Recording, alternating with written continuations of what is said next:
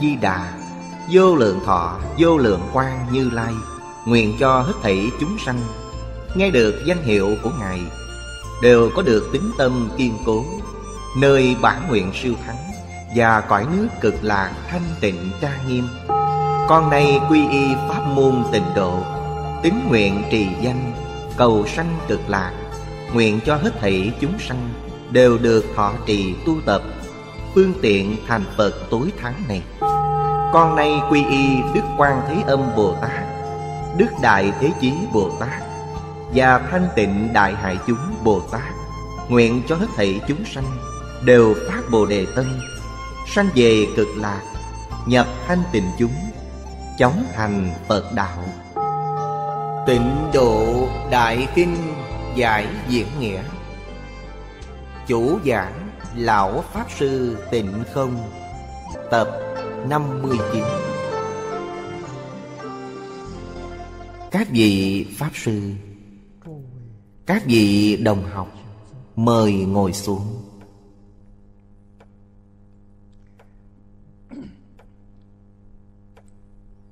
Mời xem Đại Thừa Vô Lượng Thọ Kinh Giải, Trang 57 Hàng thứ bảy Từ dưới đếm lên.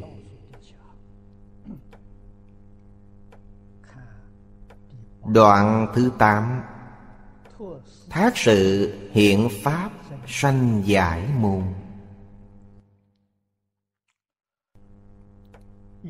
Do thượng chi trùng trùng vô tận Cố Trần trần pháp pháp, Giai thị sự sự vô ngại pháp giới. Cố khả Nhậm tự nhất trần, nhất sự, Hiển thử pháp giới toàn thể. Như đại sứ dân Lập tượng thụ tí Đọc một giai đạo.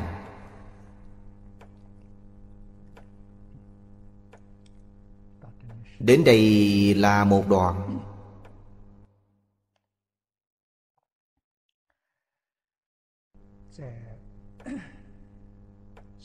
Đoạn trước nói về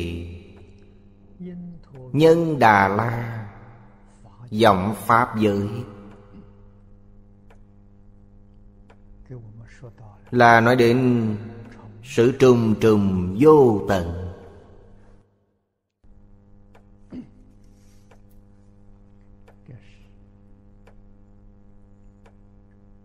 Đây chính là Khoa học mà trong kinh đề cập đến, Nói cho chúng ta biến chân tướng của vũ trụ.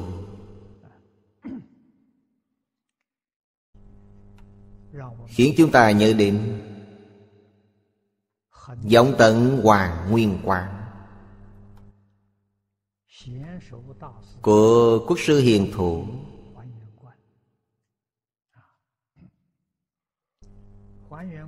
Hoàng Nguyên quang Nói về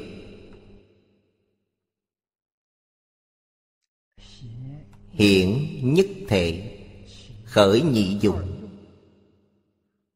Thị tam biến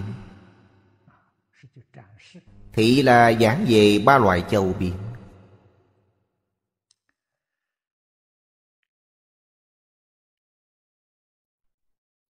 Tương tức tương nhập Là nói về tất cả Pháp. Tất cả Pháp tương tức tương nhập. Trùng trùng, vô tận. Đây chính là loại thứ hai Trong ba loại châu biển Xuất sanh vô tận. Là cảnh giới không thể nghĩ bàn, Nhưng nó là chân tướng sự thật. Các nhà khoa học ngày nay tìm hiểu. Không có cách nào nghiên cứu đến cảnh giới này. Họ nghiên cứu đến tam tệ tướng. Vật chất từ đâu mà có? Họ nghiên cứu đến chỗ này. Phát hiện ra Nghiệp tướng, Chuyện tướng, Cảnh giới tướng của A-la gia Danh từ trong khoa học và danh từ Phật học không giống nhau. Nhưng cùng nói về một thứ. Khoa học nói về năng lượng. Năng lượng chính là nghiệp tướng Nghiệp ở đây nghĩa là động. Nghiệp là tạo tác, Cho nên nó có nghĩa là động. Cũng chính là hiện tượng ba động Mà các nhà khoa học nói. Ba động vô cùng di tế.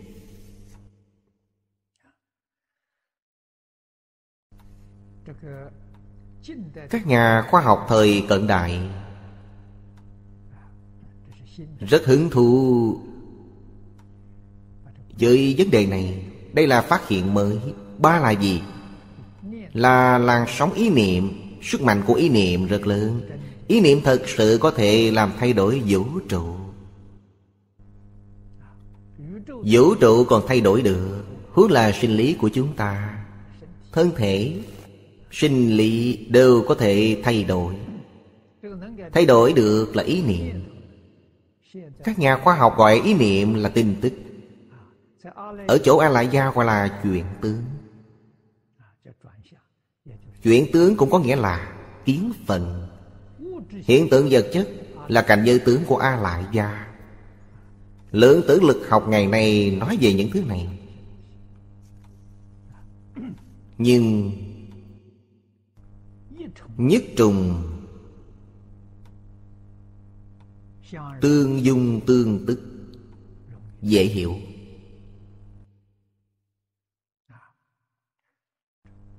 Trùng trùng vô tận. Tương dung tương tức thì rất khó hiểu.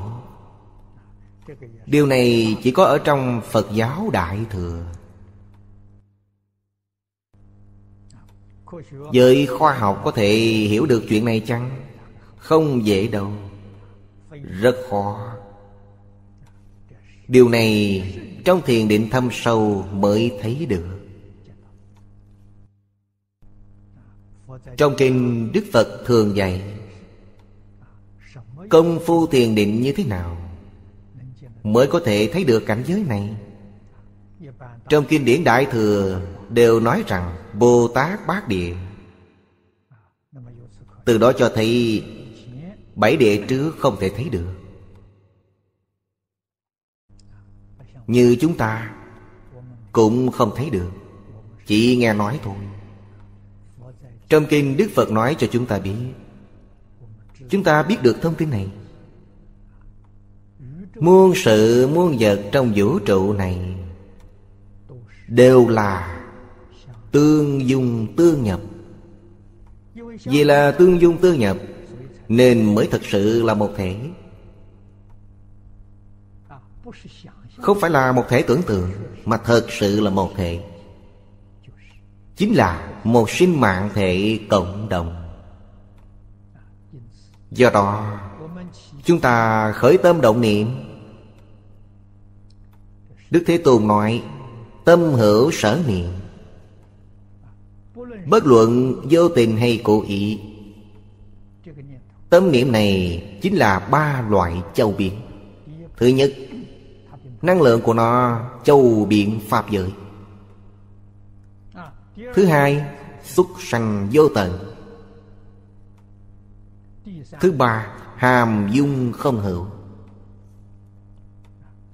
Trong kinh đưa ra ví dụ nhất trận Một di trận Nhất sự, một sự việc. Bất cứ một sự việc nào. Trong một sự việc, Có thể nhìn thấy toàn thể Pháp giới. Trong một di trần Có thể nhìn thấy bất cứ một sự việc nào.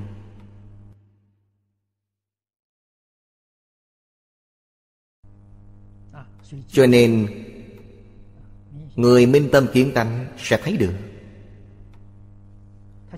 Thấy được chân tướng sự thật, Cũng chính là thập quyền môn Trong Kinh Hoa Nghiêm. Môn nào cũng nhập được. Nhập được một môn thì tất cả các môn khác đều nhập. Vì sao vậy? Bởi tương dung tương nhập. Bất luận môn nào Cũng có đủ 10 môn khác. Bất luận vào từ môn nào Cũng thấy được tất cả. Một là tất cả Tất cả là một.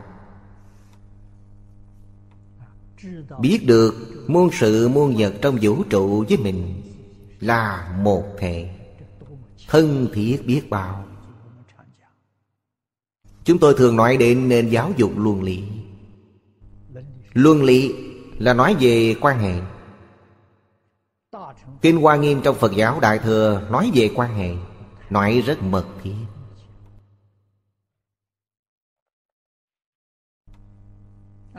Chúng ta thấy trong kinh có ghi, Mười phương tam thế Phật, Cộng đồng nhất Pháp thân. Tôi nghĩ rất nhiều người đã đọc qua câu kinh này, Đều nhớ. Rất quen thuộc. Nhưng Có ai lãnh hội được không? Họ và mình thật sự là một pháp thân sao? Đúng vậy, Không sai tí nào. Cảnh giới này không dễ lãnh hội được đâu. Mười phương ba đời Phật, Ở trong đó có chúng ta. Ba đời Phật là nói về Phật quá khứ. Phật hiện tại, Phật dị lai. Chúng ta là Phật dị lai. Trong tương lai, Đều sẽ thành Phật. Vì sao? Vì chúng ta có Phật tánh. Hiện tại còn mê Mê thất tự tánh. Sẽ có ngày giác ngộ. Vấn đề này chỉ ở chỗ sớm hay muộn mà thôi. Chắc chắn, ta sẽ thành Phật. Sau khi thành Phật, Chứng được thập quyền môn, Chứng được thanh tịnh pháp thân. Đến khi đó, Quý vị sẽ biết được Tất cả y chánh trang nghiêm Trong Pháp giới, hư không giới Và mình là một thể, Gọi là Pháp thân.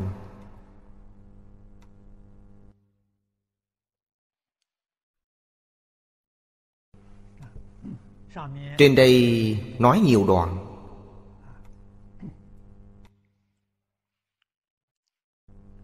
Đoạn này Đại sư cho chúng ta biết. Trần trần pháp pháp Đều là sự sự vô ngại pháp giới.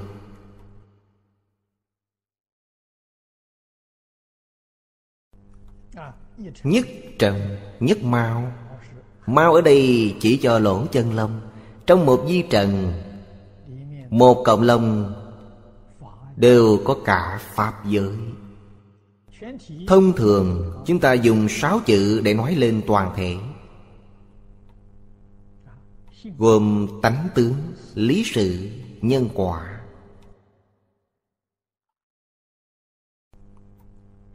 Tánh là Pháp tánh. Trong Hoàng Nguyên Quán nói, Tự tánh thanh tịnh viên minh thể.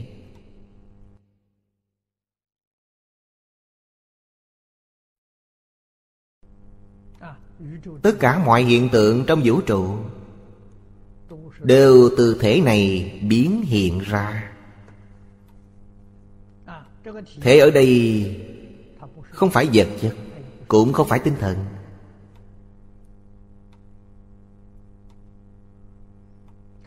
Nó không hề có bất cứ một hình tướng nào. Nhưng nó năng sanh tất cả hiện tượng vật chất. Và hiện tượng tinh thần.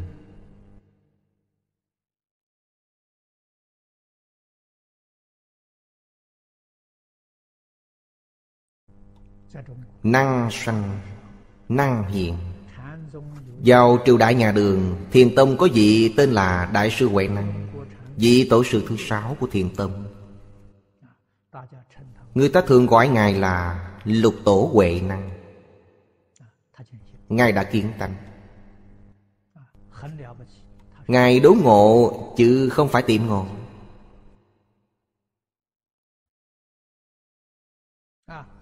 Ngài là người không biết chữ, Mới 24 tuổi, Còn rất trẻ.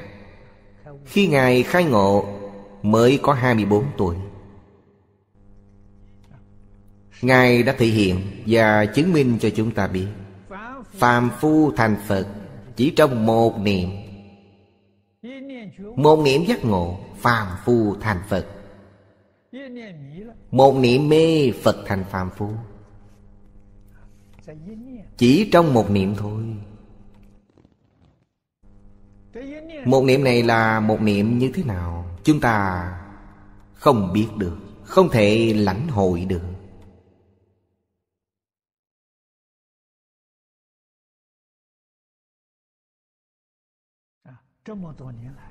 Đã nhiều năm rồi, Chúng ta tìm tòi trong kinh giáo. Thấy trong kinh có dạy. Ngày xưa thấy kinh nhân dương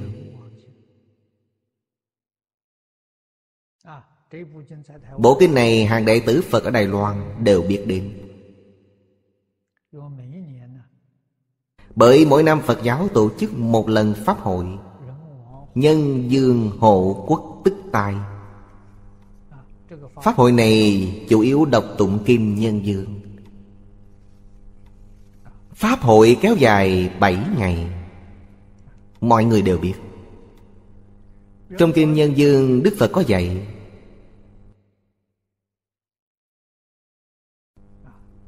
Nguồn gốc của vũ trụ Là nhất thời đốn hiện. Khi nào vậy? Trong Đại Thừa Giáo thường nói, Nhất niệm bất giác, Mà có vô minh. Một niệm bất giác gọi là vô minh. Vô minh là gì? Vô minh chính là năng lượng. Mà giới khoa học ngày nay nói,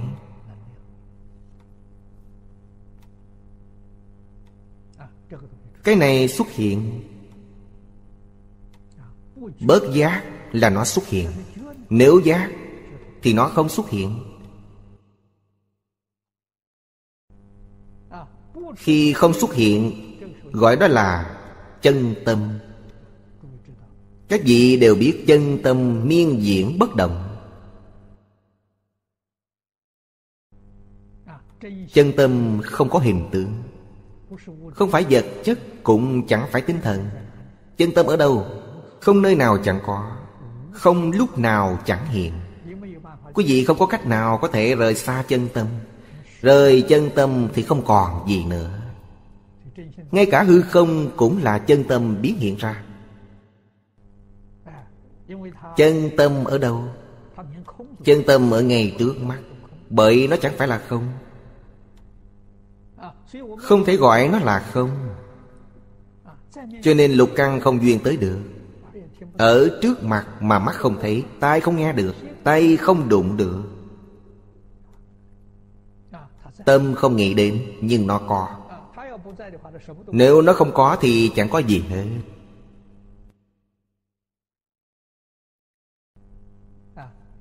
Đạo Phật gọi đó là tự tánh.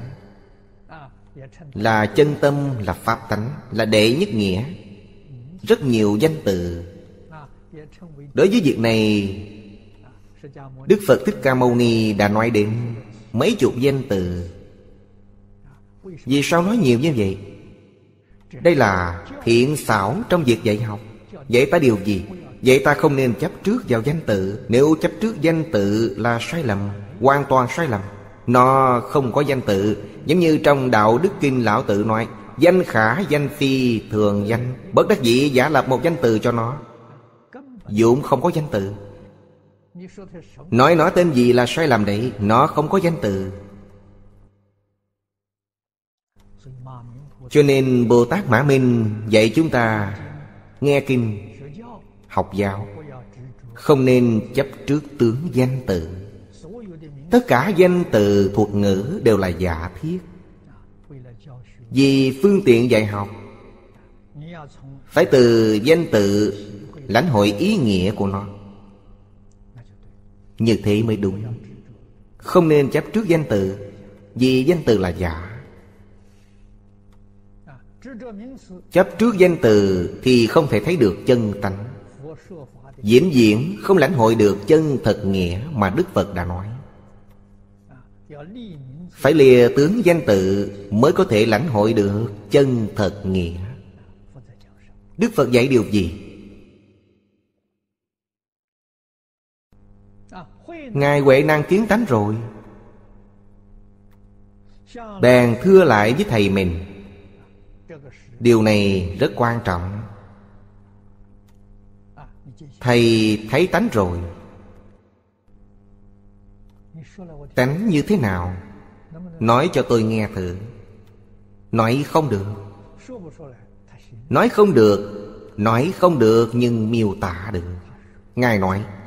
Hà kỳ tự tánh. Câu này nếu dùng cách nói ngày nay Nghĩa là không thể tưởng tượng được tự tánh. Vốn tự thanh tịnh.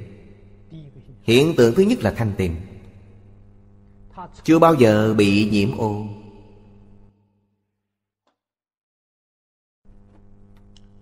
Quá khứ chưa từng bị nhiễm ô, Hiện tại cũng không bị nhiễm ô chắc chắn không bị nhiễm ô. Điều thứ nhất là như vậy. Thứ hai, nó không sanh diệt. Vốn không sanh diệt, không có sanh diệt. Là diễn hằng, là tồn tại. Tồn tại nhưng chúng ta không nhìn thấy. Không đụng được, cũng không thể tưởng tượng ra. Câu thứ ba là, vốn tự đầy đủ. Nó không có gì hết, Nhưng cũng có thể nói là có tất cả, Không thiếu điều gì. Nhưng nó không hiện tiền.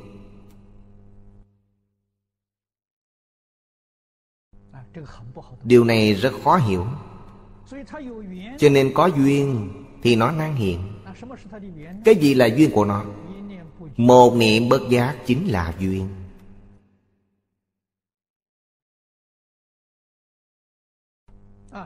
Danh từ một niệm bất giác này trong Phật Pháp cũng rất nhiều. Thông thường chúng ta thấy nó có tên là vô thị vô minh.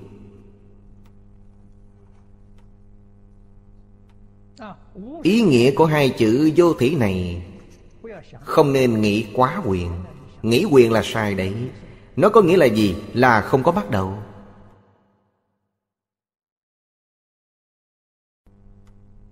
Cũng có nghĩa là không có nguyên nhân, Không có bắt đầu. Một niệm vọng động. Điều này rất quyền, Vô cùng khó hiểu. Sao lại khởi lên một ý niệm? Ý niệm này là Vô ý. Thực tế mà nói, Vô tình hay cố ý đều không đúng. Đối diện với vô ý còn có hữu ý. Nó không phải hai thứ này, Nhưng nó động Là một hiện tượng ba động cực kỳ di tệ Hiện tượng này vừa động, Từ thể khởi dụng, Nghĩa là từ tự tánh tự tánh là bản thể. Quý vị xem, nó vốn tự đầy đủ. Hiện ra tướng gì? Hiện ra tướng của a lại gia. A lại gia là vọng tâm. Tự tánh là chân tâm. Từ chân tâm hiện ra vọng tâm. Ai biến ra vũ trụ này? Vọng tâm biến ra. Vọng tâm biến cách nào? vọng tâm phải có thể. Nếu trong thể này thật sự không có gì hết, Thì vọng tâm Làm sao biến ra được? Cho nên trong thể này có đầy đủ, Không thiếu thứ gì. Chỉ cần động là nó hiện hình. Trong kinh Đức Phật thường lấy nước làm ví dụ. Tự tánh dí như nước. Khi mặt nước yên, Động là gì? Động là sóng. Động khởi sóng.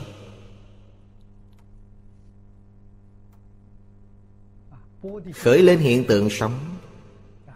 Đó là vọng tâm. Sóng vẫn là nước. Là tự tánh. Khởi lên làn sóng này Sống này chính là năng sanh vàng Pháp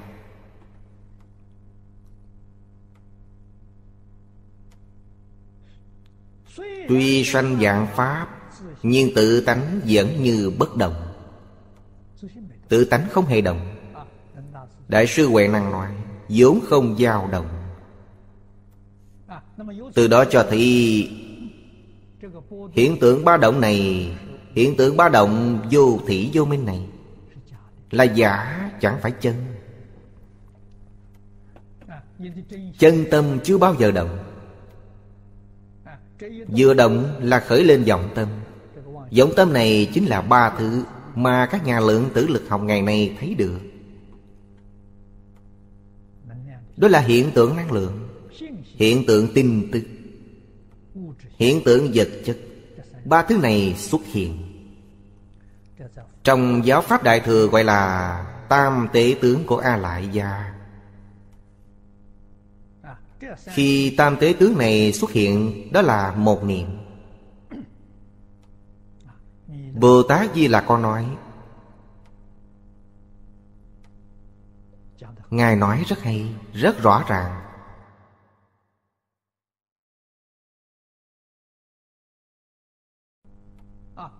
Thời gian của một niệm này rất ngắn, Không dài. Ngắn đến mức nào chúng ta không thể lãnh hội được. Trong kinh Bồ Tát Di Lạc nói rằng, Trong một khẩy móng tay, Một khẩy móng tay có bao nhiêu niệm? Có 320 triệu niệm. Nói cách khác, Thời gian của một niệm trong khải móng tay Là một phần trong 320 triệu. Không phải là giây. Một giây khải móng tay được bốn lần. Chắc còn có người khải nhanh hơn tôi nữa. Tôi tin tưởng có thể khải được năm lần. Nếu khải được năm lần, Vậy trong một giây có bao nhiêu niệm?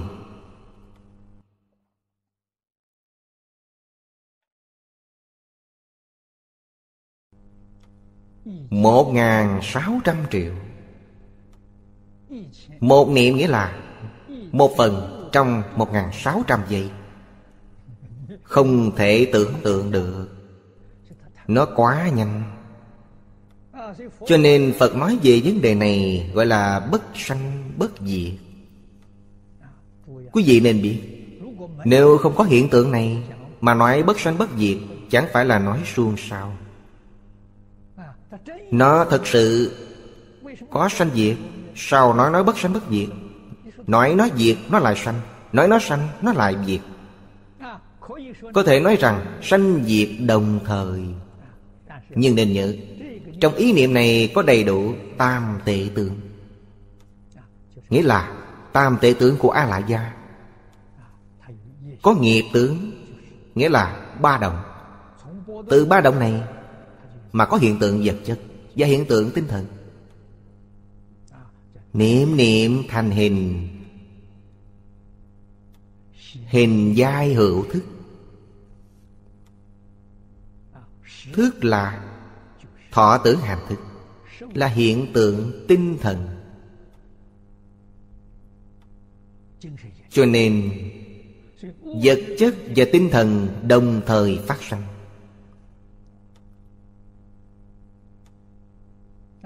a lại già chính là chúng ta, là bản thân chúng ta. Gọi nó là bổn thức, bổn nhân của mình. Khi mê, người xưa gọi là linh hồn. Cái này thân chúng ta có sanh diệt, nhưng nó không sanh diệt thức không sanh diệt trong kinh phật, thêm vào một chữ thần, gọi là thần thức. Đó là chúng ta. Phạm vi của a lại gia rất lớn. Ngày nay từ thập quyền môn mà ta biết được. Bởi nó tương dung, tương tức nó cùng pháp giới là một thể.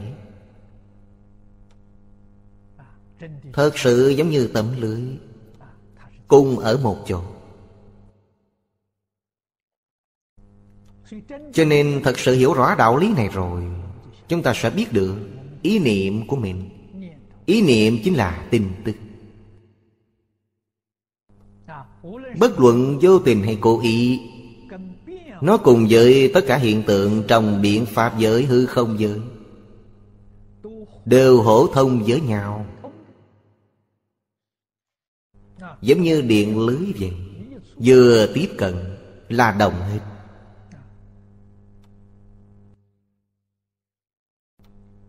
Nhổ một cọng tóc mà động toàn thân. Các nhà khoa học lượng tử rất hứng thú đối với việc này. Họ đang nghiên cứu vấn đề này. Bởi thông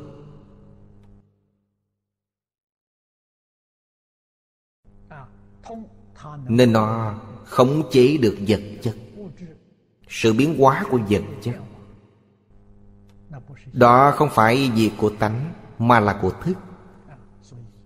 Cho nên Đại Thừa Giáo có dạy, Duy tâm sở hiện, Tâm là chân tâm Chân tâm năng hiện năng sanh, năng hiện, không năng biến. Nó bất biến. Thức thì biến. Cho nên tâm hiện thức biến.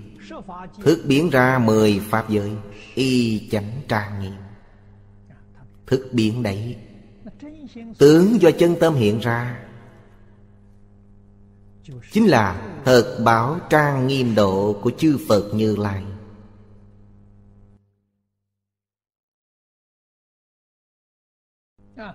Chúng sanh trong thật báo độ này.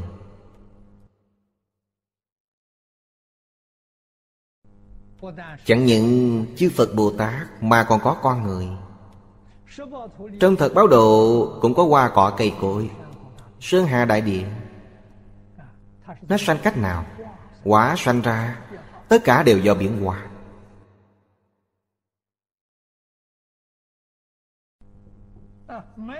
Không có hiện tượng sanh trưởng. Sinh vật ở thế giới của chúng ta đây có thể chia làm mấy loại. Gọi là noãn thai Thấp quả, noãn sanh, thai sanh Thấp sanh, quá sanh Như hiện tượng hoa cỏ cây cối. Hiện tượng sơn hà đại địa. Cho nên Hiện tượng trong thật báo độ như con người Hoa cỏ cây cối Sơn hà đại địa Đều diễn hàng bực biến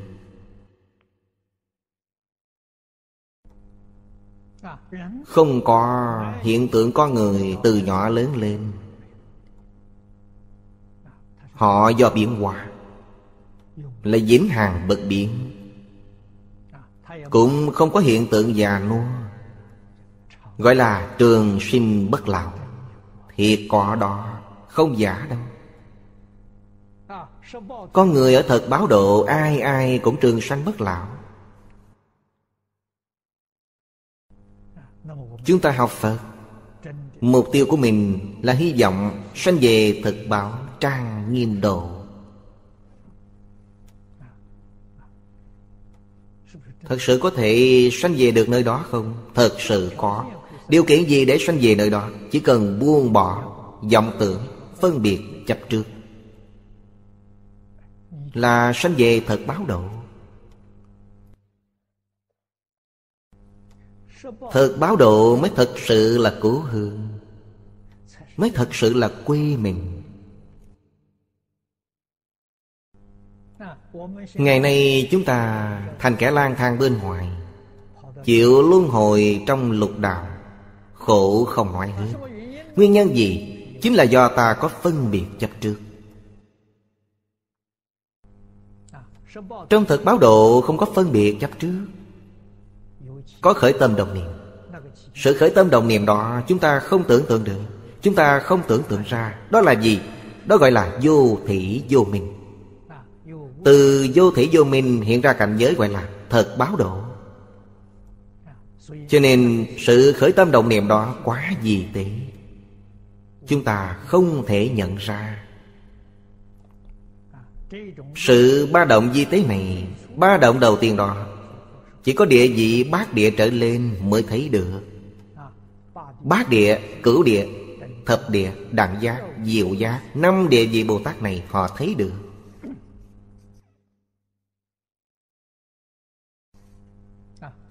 Trước thất địa, công phu định lực chưa đủ. Không thấy được chân tướng sự thật.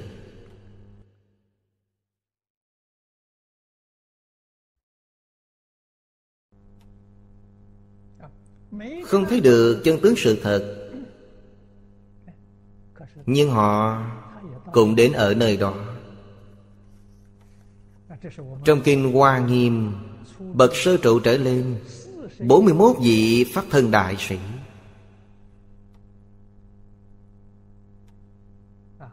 Từ đó cho thấy Trong thật báo độ Thông minh trí huệ có khác.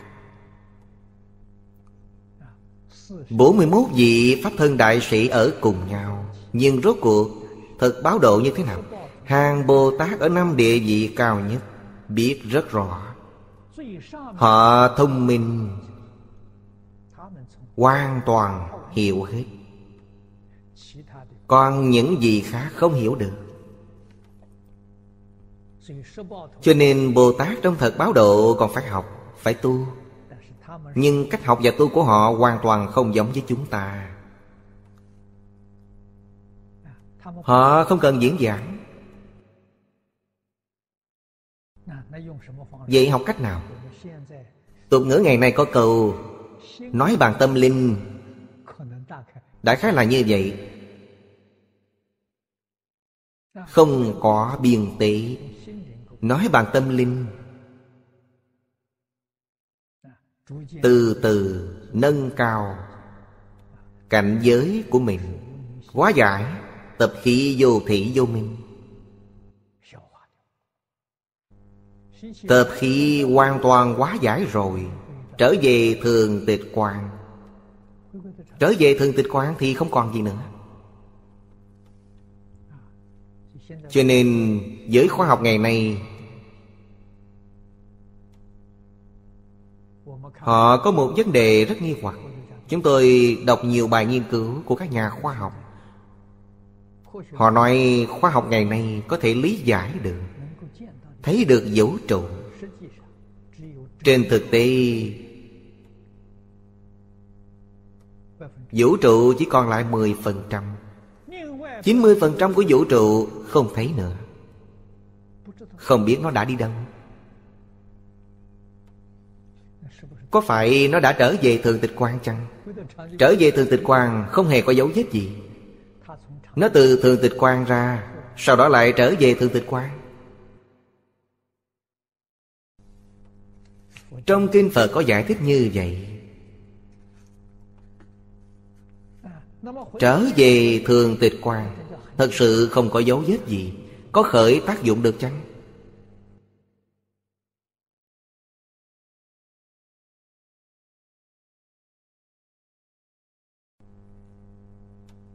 Chúng tôi tin nó khởi tác dụng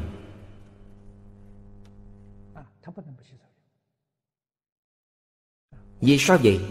Bởi chúng sanh có cảm, Nó sẽ có ứng Chúng sanh cảm. Tuy thường tịch quan bất động, Nhưng chúng sanh cảm, Khiến nó khởi động.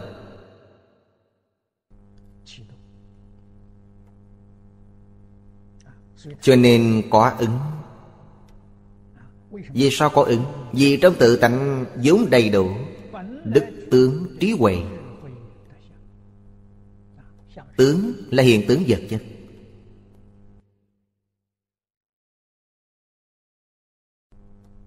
trí huệ là kiến gian giá trị. Cho nên nó có trí huệ có đức có tưởng có đầy đủ hết. Chỉ là không hiển thôi. Giống như nước vậy. Nước có sóng không có sóng, nhưng khi không có gió thì không hiện sóng. có gió nghĩa là có duyên. Nó sẽ khởi ba khởi sóng. Khởi lên sóng lớn. Khi không có gió, Chẳng hề có sóng.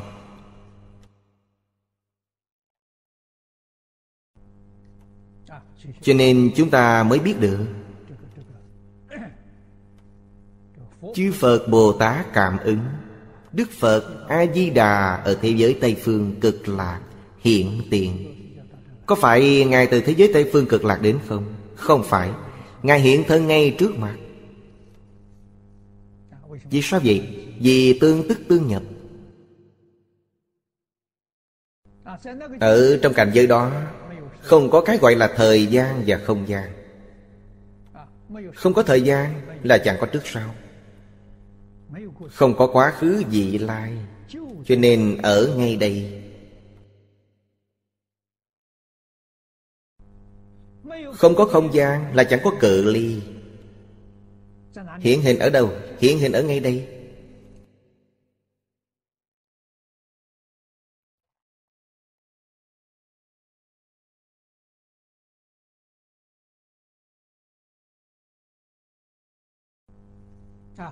Chúng tôi gặp một việc Đây là thầy hiệu trưởng của tôi. Thời chiến tranh, Tôi học ở Quý Châu. Thầy Châu bang Đạo. Hiệu trưởng trường quốc lập đệ tam trung học.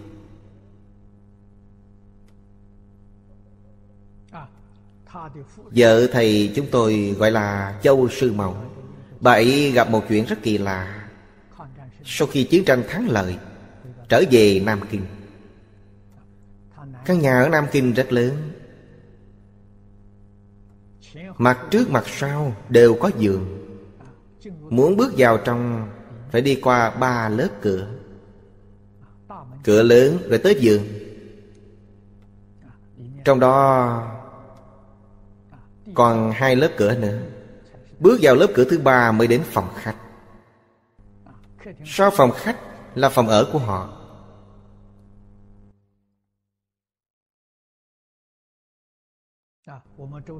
Một hôm, Châu Sư mẫu gặp một người xuất gia.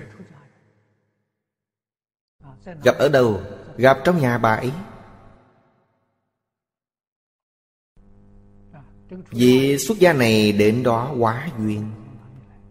Sư mẫu hỏi thầy từ đầu tới, Từ cửu hoa sinh Sư mẫu hỏi thầy cần gì? Người đó nói cần năm cân dầu đốt.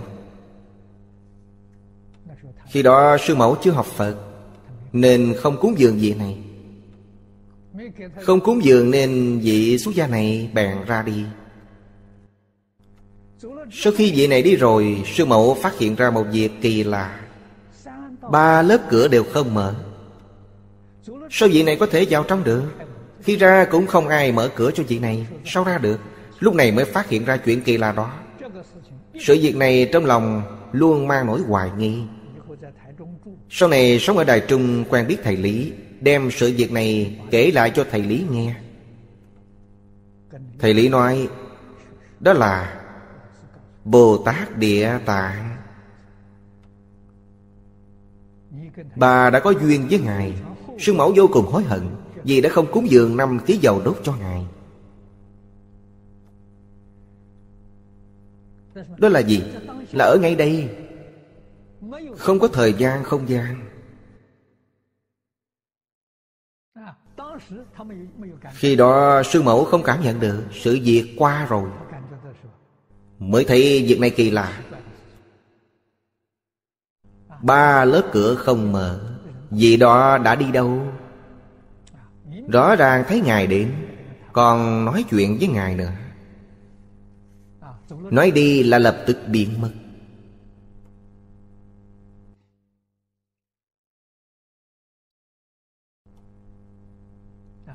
từ đó chúng ta hiểu được. Đương xứ xuất sanh, Tùy xứ diệt tận, Đây là sự thật.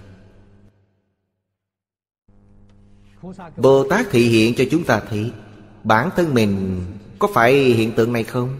Cũng là hiện tượng này mà không biết.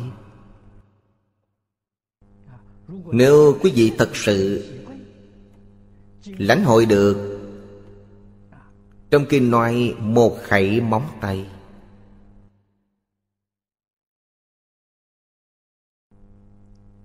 Có 320 triệu niệm. Khoa học lượng tử ngày nay cho chúng ta biết, Hiện tượng vật chất là gì? Là sự tích lũy của ý niệm. Sinh ra hiện tượng liên tục.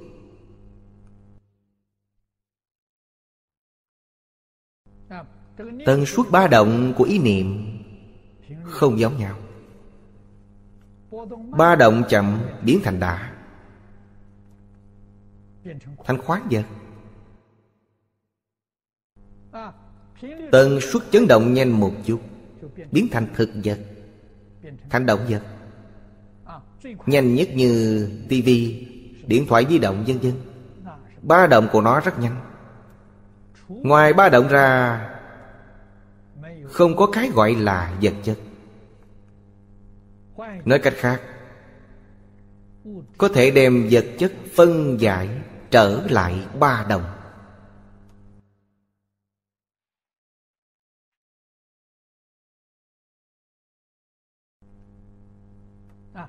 Cách nói này về những điều trong hoàng nguyên quán nói, nhất niệm châu biện pháp giới. Xúc sanh vô tận Hàm dung không hữu Rất gần. Hiện tượng này là thật, Không phải giả. Ở ngay trước mắt. Chúng ta hiểu được chân tướng sự thật này rồi.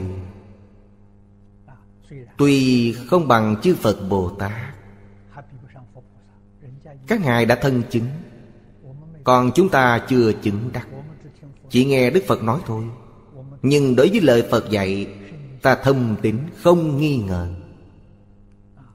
Trong kinh kim cang, đức phật dạy rất hay. Như lai thị chân ngữ giả như ngữ giả chân nghĩa là tuyệt đối không nói dối. Như nghĩa là dạng đến chỗ rất hay. Không tăng, không giảm. Sự thật như thế nào? Ngài nói đúng như thế ý Không thêm không bớt tí nào. Gọi là như ngữ. Chúng ta tin tưởng lời Đức Phật dạy. Trong cuộc sống sinh hoạt hàng ngày, Từ từ thể nghiệm, Đó mới là chân chánh học Phật.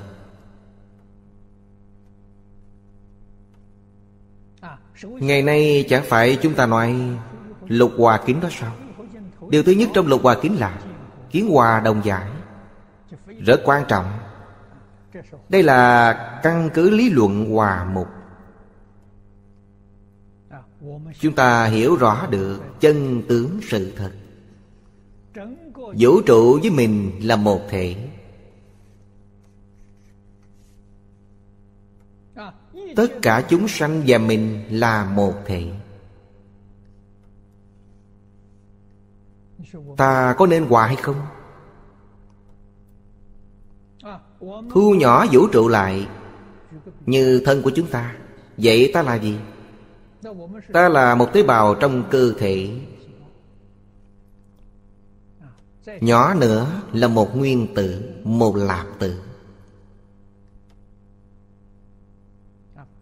Giới khoa học biết thân này có bao nhiêu lạp tử?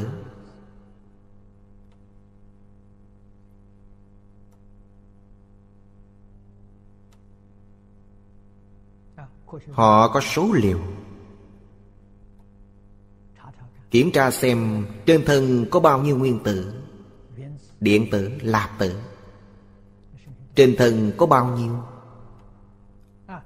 Cứ như thế chất thành một hiện tượng thân thể này.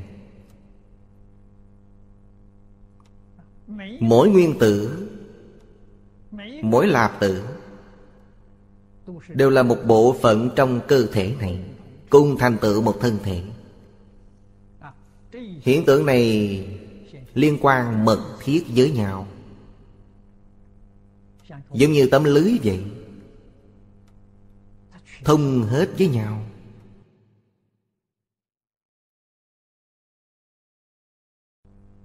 Gọi là nhất thể quan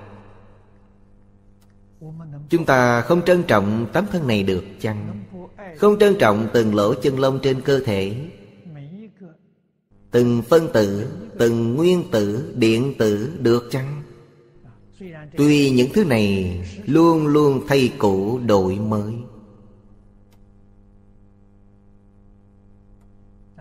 Giới khoa học cho chúng ta biết Chu kỳ thay cũ đổi mới là 7 năm. Hiện tượng này chúng ta suy nghĩ kỹ, Thấy nó bình thường. Vì sao vậy? Là tử cơ bản nhất. Lượng tử nói là lượng tử quần. Lượng tử quần là tiểu quan tử. Thời gian tồn tại của nó rất ngắn. Ngắn vô cùng. Nhưng mỗi cái liên tiếp với nhau. Tích lũy thành hiện tượng vật chất. Vũ trụ này Do những thứ đó hợp thành.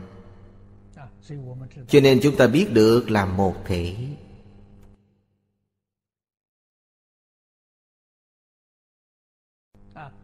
Trong kinh Đức Phật dạy, Tất cả chúng sanh vốn là Phật. Đối với người ta, Phải tôn kính, Phải kính mến. Tôn trọng mọi người, Nghĩa là tôn trọng tự tánh của mình. Hoa cỏ cây cối Cũng là một thể cộng đồng của chúng ta. Năng lượng, Tin tức, Vật chất Hoàn toàn tương đồng. Sơn Hà Đại Địa cũng tương đồng. Trong vũ trụ, Đạo Phật nói y chánh tra nghiêm trong mười Pháp giới. Không tìm thấy một vật gì độc lập riêng biệt. Không liên quan đến mình, Tìm không ra. Cũng có thể nói rằng, Không có vật gì ngoài thể của chúng ta. Tất cả và mình là một thể. Quý vị nghĩ xem chúng ta có nên kính mến không? Người xưa nói là Hiếu thuận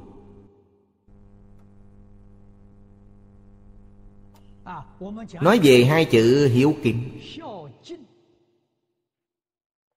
Hai chữ này là Cội rễ. Cội rễ của Đức Hiếu đối với cha mẹ, Kính đối với thầy giáo. Hiếu thân tôn sư Là cội rễ của mọi đức hạnh.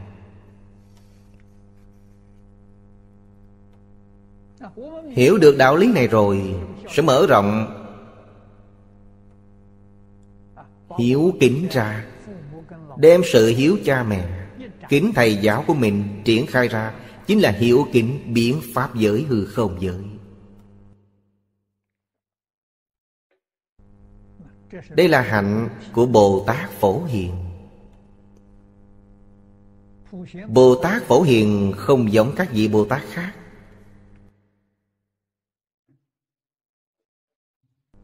Cho nên trong Đại Kinh Đức Phật dạy Bồ Tát không tu hạnh Phổ Hiền Thì chẳng thể thành Phật. Có nghĩa là không tu hạnh Phổ Hiền Thì không thể thay tánh. Hạnh phổ hiền có 10 điều. Cảnh giới của Ngài là gì? Là biện pháp giới hư không giới.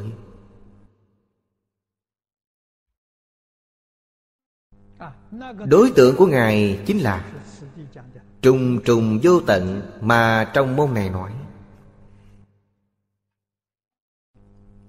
Lễ kính chư Phật. Chư Phật ở đây chẳng những riêng hàng hữu tình chúng sanh. Kinh Hoa Nghiêm nói, Tình giữ vô tình, đồng viên trùng trí. Vô tình là hoa cỏ cây cối, Sơn hà đại địa, Hiện tượng tự nhiên, Thuộc về loài vô tình. Cùng loài hữu tình, đồng viên chủng trí. Là một, chẳng phải hai. Cùng với vũ trụ là một thể. Chúng ta hiếu tâm kính ý. Đối với biến pháp giới hư không giới, Không hề sai biệt. Đối với cha mẹ như thế nào, Đối với tất cả mọi người đều như vậy. Đối với thầy giáo như thế nào, Đối với chúng sanh cũng như vậy. Không thể có sự sai khác. Có phân biệt thì không phải là Bồ Tát Phổ Hiền rồi.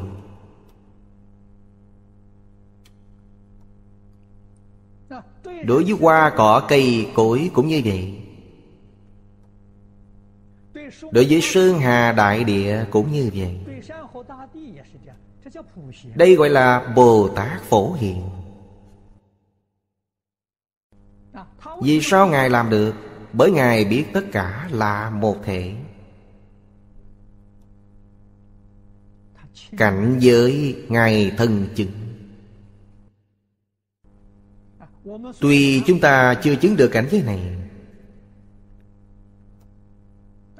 Nhưng trong kinh điển Đại Thừa, Chư Phật Như Lai khai thị, Nói cho ta biết chân tướng sự thật này. Ngày nay chúng ta phải sửa đổi tâm mình.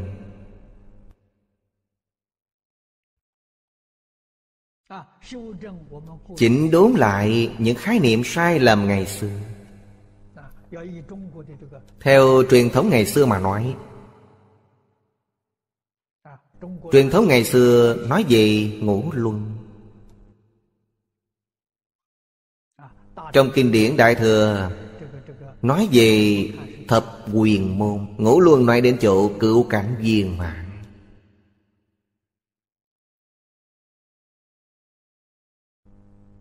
Quan hệ vô cùng mật thiết hiểu tâm của chúng ta Mới đạt đến chỗ cửu cảnh Phu tử hữu thân là thân yêu.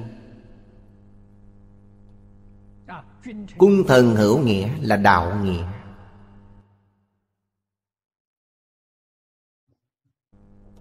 Đều có thể đạt đến chỗ cứu cánh viên mạng Mở rộng ra là Ngũ thường, Nhân nghĩa lệ trị tình, Tứ duy Lễ nghĩa liêm sĩ bác đức, Trung hiếu nhân ái, Tín nghĩa hòa bình. Những điều truyền thống của người xưa Chỉ có bấy nhiêu đó thôi. Mỗi chữ, mỗi điều Cảnh giới của nó Đều là biến pháp giới hư không giới.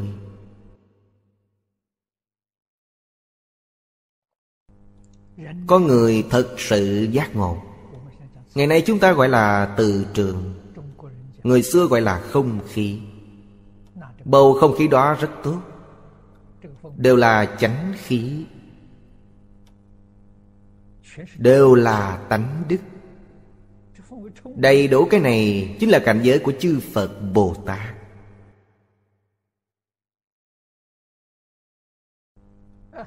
Ít nhất là cảnh giới của cõi trời. Tất cả tà khí của yêu ma quỷ quái Không thể xâm nhập được. Tự nhiên là không có.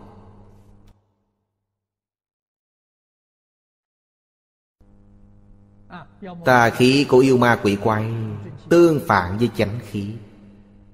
Ta không thắng chánh.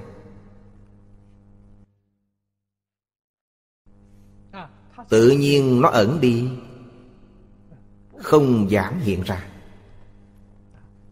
Chúng ta thấy xã hội ngày nay toàn là tà ác.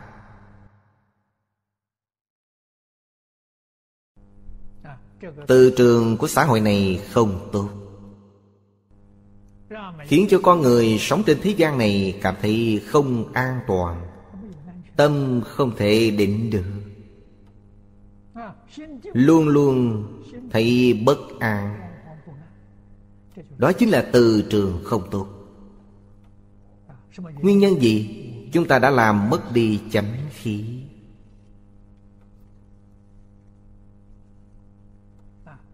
Tâm chúng ta như thế nào? Tâm ta tự tư tự lợi, Tổn người lợi mình. Danh văn lợi dưỡng, Ngũ dục lục trần, Tham sân si mạng Tập khí này quá dày là tập khí xấu. Hoàn toàn trái ngược với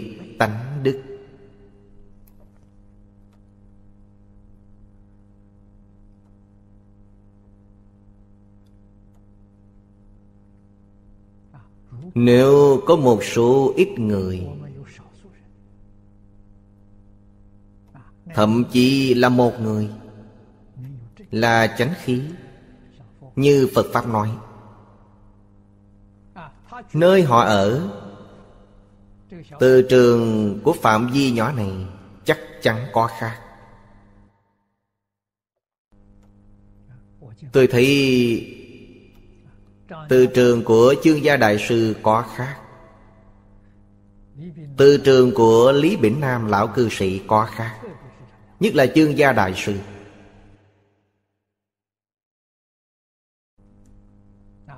Khi đại sư còn tại thế Nơi ngài ở là một căn phòng kiểu Nhật Bản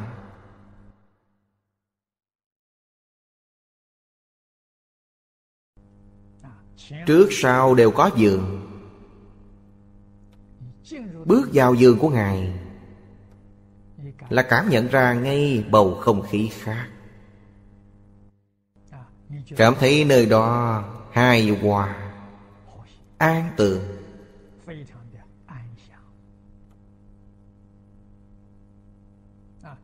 Ngồi với đại sư Tuy không nói lời nào. Nhưng chẳng muốn đi.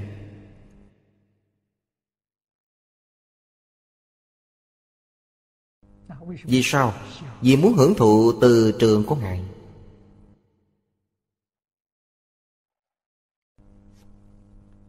Từ trường đó từ đâu mà có? Từ tâm thanh tịnh. Tâm thanh tịnh, tâm bình đẳng. Kim vô lượng thọ gọi là từ trường của thanh tịnh bình đẳng giác. Ngồi ở đó, quý vị sẽ sanh tâm quan hỷ.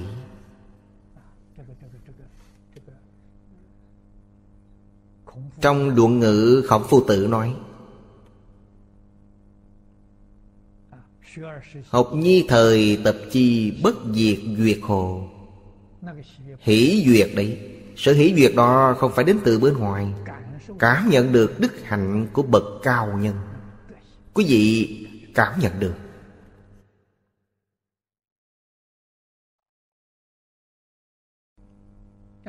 Học nhi thời tập chi.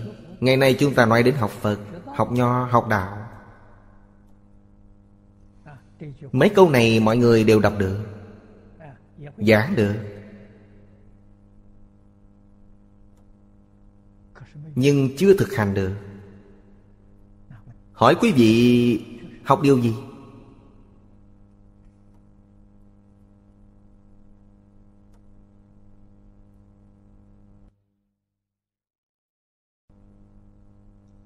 Điều này chẳng thể không biết. Pháp của thế và xuất thế gian Cũng có liên quan mật thiết với nhau. Giống như mắt lưới vậy, Chẳng có pháp nào không liên kết với nhau. Chánh và tà cũng liên kết với nhau.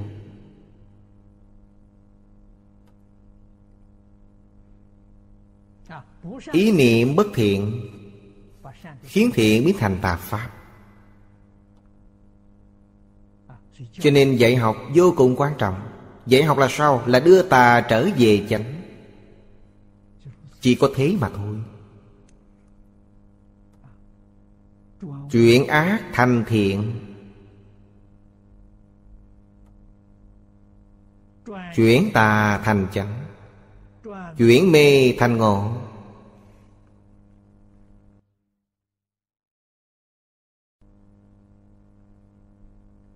Nền giáo dục mấy ngàn năm rồi.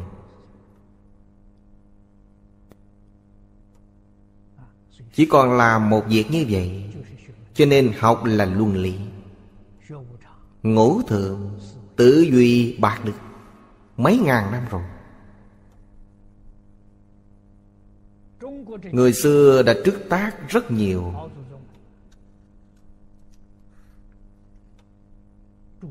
Thời Càng Long Thu thập thành một bộ tứ khố toàn thư.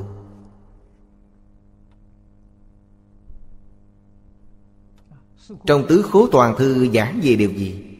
Không rời học thuật truyền thống. Có nghĩa là Không rời ngũ luân. Ngũ thường Tử duy bạc đức. Rời điều này là tà giáo.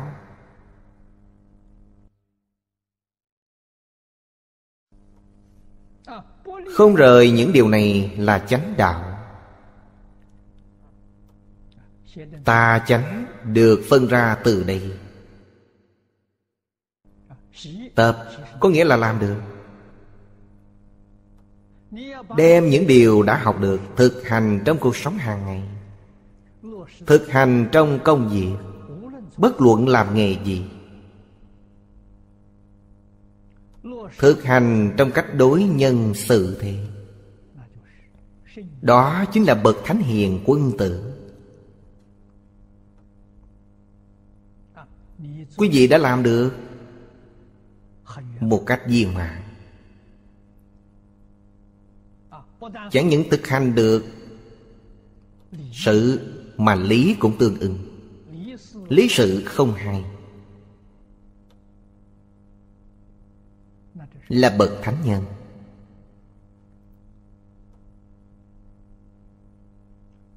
Nếu lý không thấu triệt, Chỉ biết một bộ phận chứ không thấu triệt, Thực hành được sự là hiền nhân. Không hiểu lý, Nhưng hoàn toàn làm được sự. Là bậc quân tử. Bớt diệt duyệt hồ, Đó là vui. Đều có thể đạt được Bớt diệt diệt hồ. Sự đạt được sâu cạn khác nhau. Quân tử đạt được hỷ duyệt, Không bằng bậc hiền nhân. Hỷ duyệt bậc hiền nhân đạt được Không bằng bậc thánh nhân. Trình độ không tương đồng.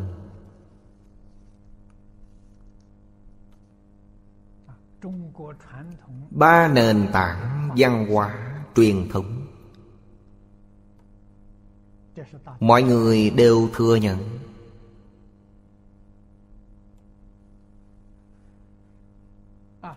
Thực hành được đệ tử quy của đạo nho. Học thái thượng cảm ứng thiên của nhà đạo. Vì sao? Vì giáo dục nhân quả.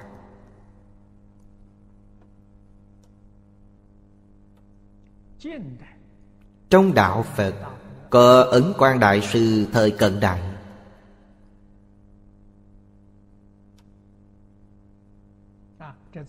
Trong giới Phật giáo thời cận đại, Mọi người đều ngưỡng mộ.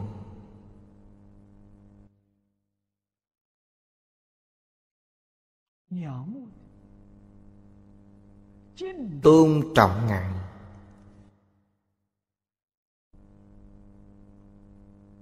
Suốt cuộc đời Ngài Đặc biệt thúc đẩy việc giáo dục nhân quả. Chỉ định ba cuốn sách. Người học Phật chẳng thể không đọc Ba cuốn sách đó là Liễu Phàm Tự Quân Cảm ứng thiên hội biến, An sĩ toàn thư. Một đời Ngài cực lực tuyên dương. Vì sao? Ngài dạy. Đây là Ngài dùng lời nói Của châu An Sĩ, Nhân nhân tính nhân quả. Thiên hạ đại trị chi đạo giả, Nhân nhân bất tính nhân quả, Thiên hạ đại loạn chi đạo giả. Do thời Ngài Ấn Quang Đại Sư Đã thấy được hiện tượng loạn của xã hội. Dùng cái gì để cứu? Dùng nhân quả. Luân lý đạo đức không thể cứu được. Vì sao? Vì chẳng phải không có người hiểu được luân lý đạo đức nhưng nếu hiện ra cảnh giới cao danh trọng lợi, tâm họ sẽ thay đổi. Không thắng được sự cám dỗ. Nhưng người hiểu được nhân quả, họ sẽ sẵn. Những dinh dự và lợi dưỡng đạt được trước mắt. Hưởng thụ được mấy ngày. Lai sanh phải làm sao? Nghĩ đến vấn đề này Thì họ không dám nữa.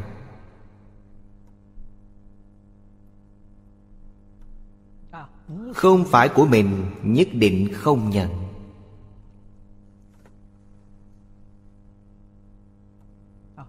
Họ sẽ không tham danh trục lợi. Cho nên người xưa nói rất hay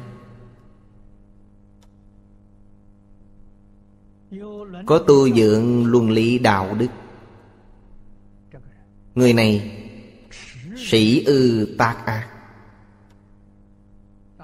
Nghĩa là họ không làm ác. Vì sao? Vì họ biết hổ thẹn. Lễ nghĩa liêm sĩ, Biết hổ thẹn. Nên không làm. Người hiểu được nhân quả, Không dám làm ác. Vì sao? Vì đằng sau có quả báo.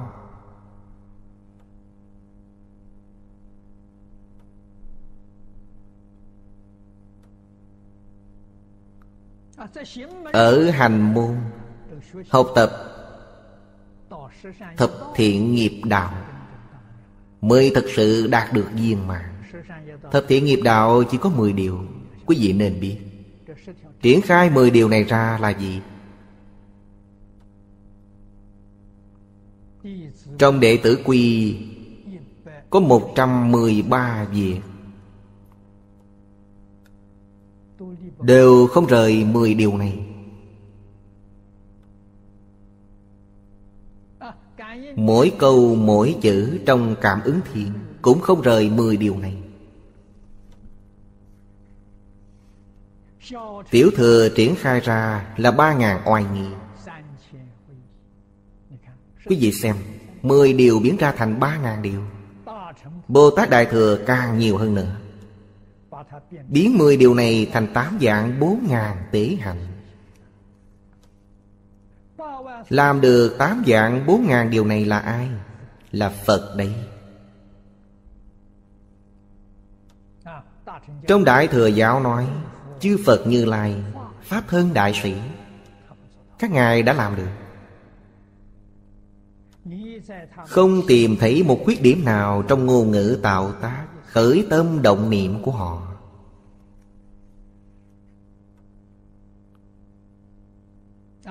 Chúng ta dùng một câu Để miêu tả là thuần tịnh, thuần thiện. Đây là học đấy. Thật sự học như thế mới có pháp hỷ.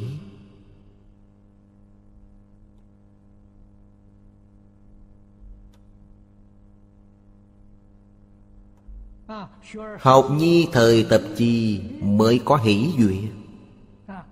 Trong giáo Pháp Đại Thừa gọi là Pháp hỷ sung mãn. Sự quan hỷ này không phải đến từ bên ngoài, Mà từ tự tánh lưu xuất ra. Pháp hỷ này là từ trường thù thắng nhất. Đối với con người mà nói, Đây là dinh dưỡng tốt nhất. Ngạn ngữ có câu, Nhân phùng hỷ sự tinh thần sản. Từ sáng đến tối quan hỷ, Sao có thể bệnh được?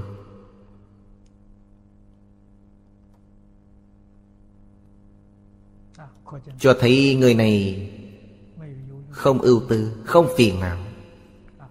Ngày này nói không bị áp lực. Vì sao?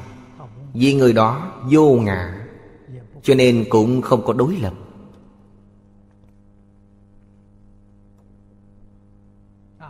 Trong tâm họ, không riêng con người, mà cả sơn hà đại địa đều là chư phật như lai, đều là thanh tịnh pháp thân. Thác sự hiện pháp. Sự sự giai thị, Pháp pháp giai thị.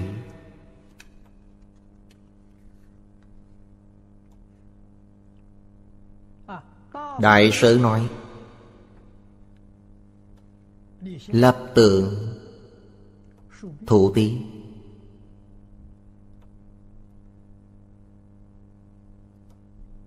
Đó là đưa ra ví dụ. Trong thiền tông thầy giáo, khảo học trò. Học trò kiến tánh. Tánh như thế nào?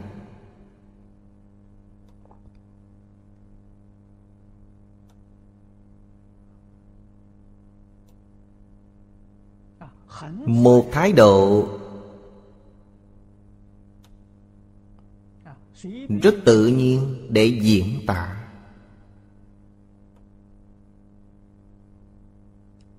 Thầy giáo gật đầu là thông qua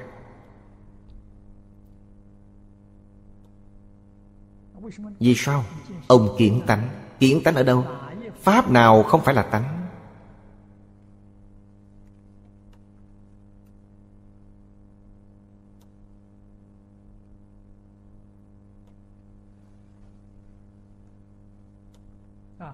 Đưa một ngón tay, Cũng là biểu thị nói không được. Họ cùng một cảnh giới giống nhau. Một động tác nhỏ là hiểu được hết. Không phải hiểu được ở hình tướng, mà hiểu được nhau ở ý niệm. Điều này lưỡng tử lực học ngày nay phát hiện ra.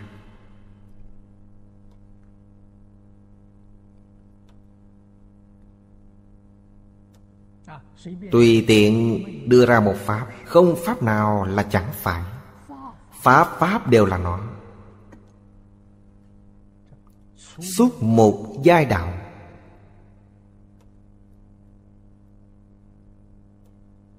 Những điều này trong Kinh Hoa Nghiêm nói. Xem trong bổn kinh này. Bổn kinh. Bồ đề đạo tràng phẩm.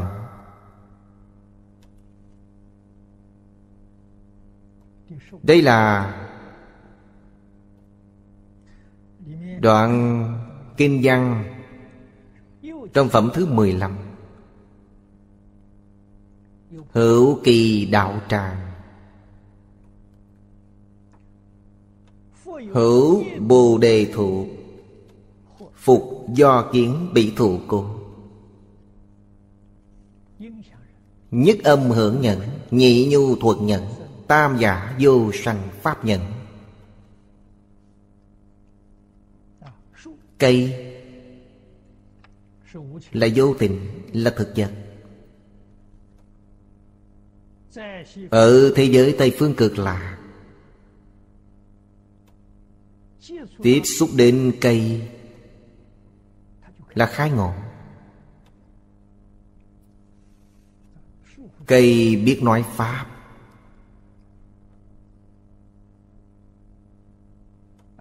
Thấy sắc nghe âm, đều có thể khai ngộ. Chúng tôi nói sơ qua về ba loại nhẫn này. Tam nhẫn là ba loại nhẫn. Nguyện thứ 48 Trong kinh vô lượng thọ,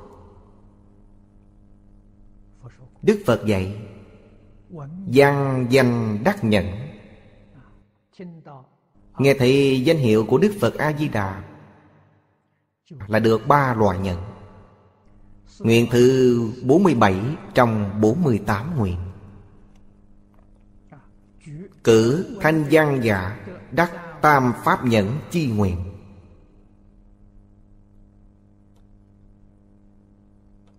Nhi ngôn Đệ nhất pháp nhẫn, Đệ nhị pháp nhẫn, Đệ tam pháp nhẫn. Pháp nhẫn ở đây là gì? Không nói ra. Dị cử kỳ pháp nhẫn chi danh. Nhân thị nhi chư sư chi giải bất đồng vì Đức Phật không nói ra danh xưng của ba loại nhẫn này. Sau này Pháp dị Đây là tên của một vị Pháp Sư. Trong kinh Nhân Dương Nói ra năm loại nhẫn Tam nhẫn là ba loại nhẫn đầu. Chính là phục nhẫn, Tín nhẫn, Thuận nhẫn. Cảnh Hưng là Pháp Sư người Nhật, Cho rằng trong phục nhận Có ba nhận là Thượng Trung Hạ. Pháp Sư Quyền Nhất nói là Kim văn ở đoạn sau. Trong Bồ Đề Đạo Tràng Phẩm thứ 15 Nói về ba loại nhẫn. Ba loại nhẫn là Âm hưởng nhẫn Nhu thuần nhẫn. Vô sanh pháp nhẫn. Ngài dùng kim văn trong bổ kinh này để giải thích. Đều có thể giảng thông được. Vô lượng thọ kim dân Giảng sanh cực lạc chi nhân. Văn thất bảo thụ lâm chi âm thanh. Nhi đắc tam chủng chi nhận Đây chính là Điều đạt được ở cây Bồ Đề. Cây Bồ Đề Có thể hiện sắc, Cũng có thể hiện âm thanh. Rất tự nhiên, Mà còn tùy chúng sanh tâm, Ứng sở tri lượng. Ở dưới cội Bồ Đề, Nói, tôi muốn thấy thế giới ta bà. Chỗ đó, ngày xưa tôi từng ở. Cõi cái này sẽ giống như màn hình tivi Lập tức quý vị thấy trạng thái ở thế giới ta bà. Quý vị muốn nghe giảng kinh, Nghe âm nhạc, Đều có thể tùy theo nguyện vọng của quý vị. Mấy người ở chung một chỗ. Tôi muốn nghe giảng kinh vô lượng thọ, Người kia muốn nghe kinh hoa nghiêm. Tôi thật sự nghe thấy giảng kinh vô lượng thọ, Người kia nghe đang giảng kinh hoa nghiêm. Cực kỳ di diệu, Không hề nhiễu loạn nhau.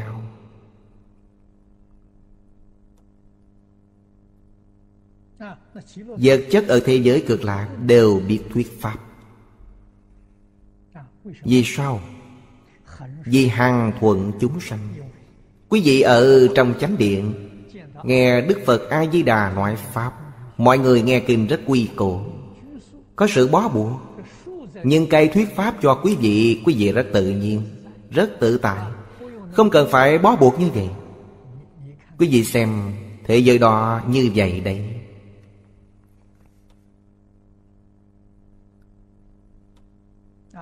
Đoạn kinh này nói về ba loại nhận. Âm hưởng nhận. Do âm hưởng nhi ngộ giải Chân lý giả Âm hưởng này có rất nhiều loại. Có âm nhạc diễn tấu. Nghe rồi bèn khai ngộ. Có giảng kinh thuyết pháp. Đều thuộc về âm hưởng. Thứ hai, Nhu thuận nhẫn. Huệ tâm nhu nhuyễn.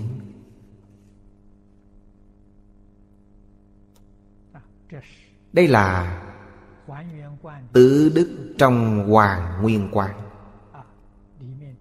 Đức thứ ba trong tự đức là nhu hòa chất trực. Tâm con người nhu hòa chân thành, sanh trí huệ, không sanh phiền não. Tự nhiên tùy thuận chân lý. Chân lý ở đây chính là tự tánh. Tùy thuận tánh đức. Vô sanh pháp nhận chúng vô sanh chi thật tánh. Nhi ly chư tướng giả Ly chư tướng nghĩa là không chấp tướng. Đối với tất cả hiện tượng trong vũ trụ Trong Kinh Bát Nhà nói thật tướng của các Pháp Người này nhận biết rõ. Có tánh không có tướng. Thật tánh, tánh là gì? Tánh là năng sanh năng hiện. Tướng là sở sanh sở hiện tượng sở sanh sở hiện là có sanh có diệt. Tánh năng sanh, bất sanh bất diệt. Cho nên trên tượng thay tánh.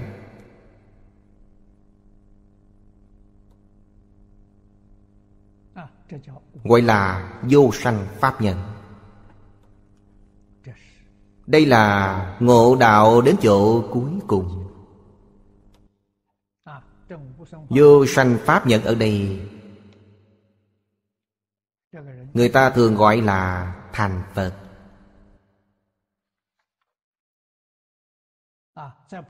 Là Pháp Thân Bồ Tát. Phần chứng tức Phật. Thiện Đạo Đại Sư cũng nói về ba nhận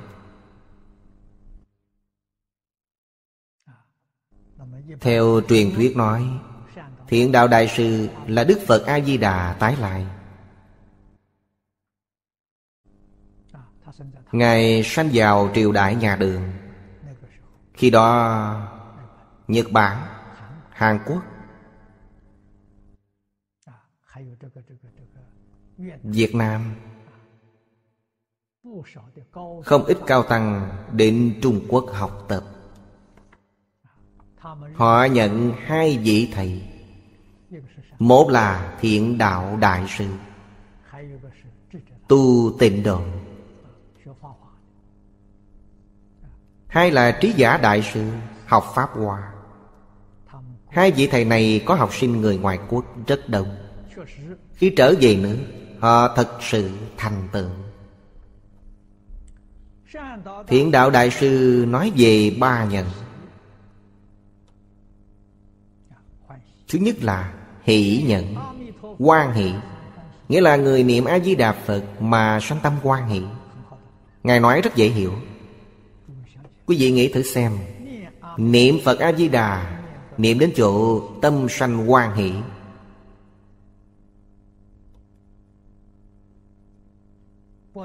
Chẳng những có cảm ứng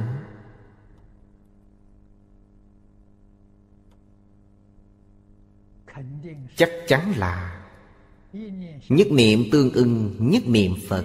Niệm niệm tương ưng, niệm niệm phật. Niệm đến pháp hỷ sung mạng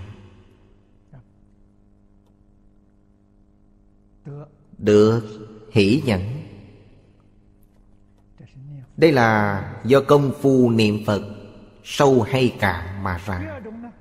Thứ hai là ngộ nhận là khai ngộ Nghĩa là niệm Phật A-di-đà mà ngộ giải chân lý Chân lý chính là thực tướng của các Pháp Niệm Phật mà khai ngộ Vì sao?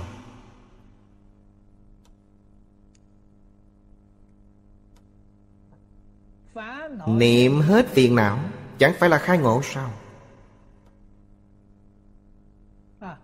Ngày nay không ít người niệm Phật. Vì sao không thể khai ngộ?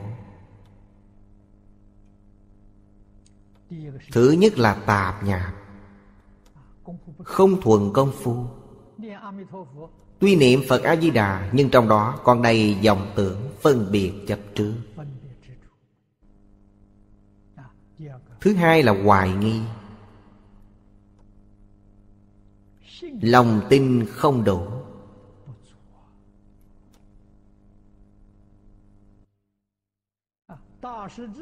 Đại thế chí bồ tát dạy trong niệm phật cường yếu. Đô nhiếp lục căn, tịnh niệm tương tục. Đô nhiếp lục căn là ta muội. không xen tạp tính niệm tương tục.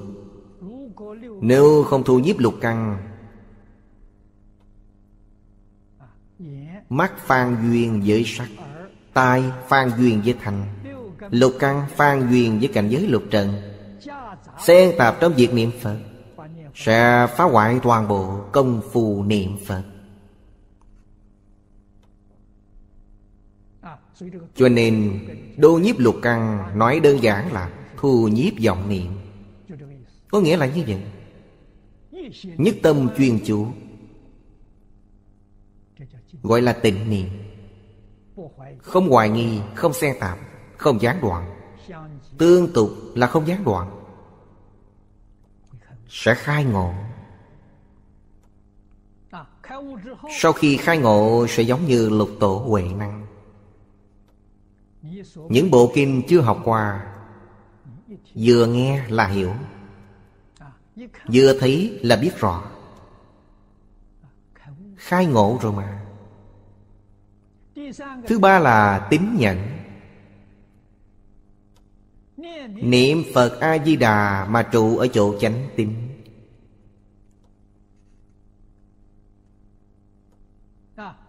Chánh tín ở đây có nghĩa là tin tưởng mình chắc chắn được giảng sanh.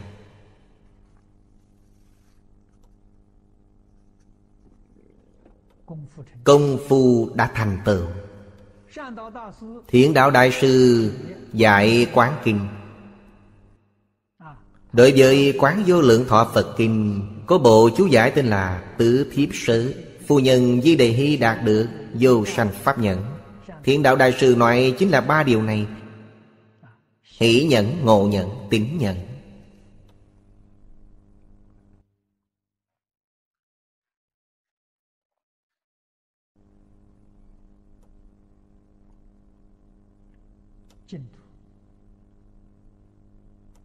Trong tịnh độ văn loại hành quyển Có câu Sau khi khánh hỷ Được một niệm tương ưng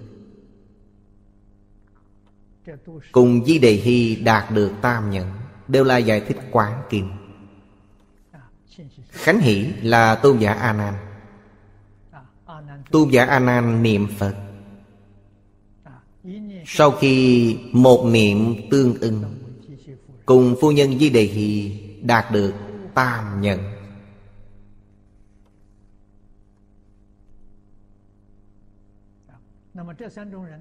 Tam nhẫn này chính là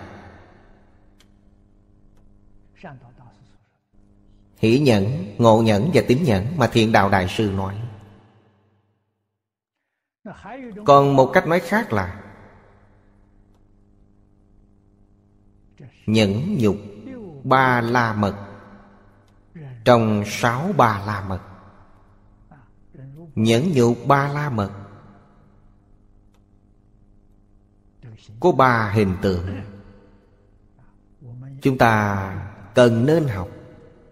Thứ nhất, nại oán hại. Nhẫn năng, nại nhẫn. Hữu tình oán địch, chi não hại. Hữu tình là con người. Là oán thân trái chủ của chúng ta.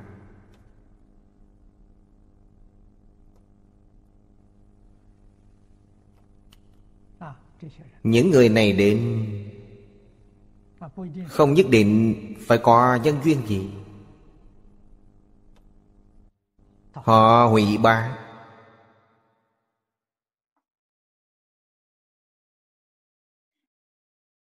Nhục mà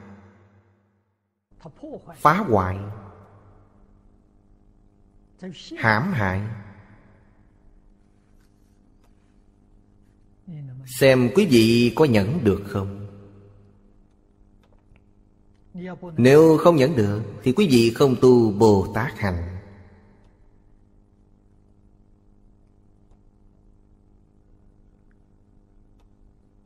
Hại đến chỗ cùng. Như Đức Phật Thích Ca Mâu Ni Tu hành nhẫn nhục Ba La Mật, Gọi là nhẫn nhục tiên. Gặp vua ca lợi cắt xẻ thân Ngài.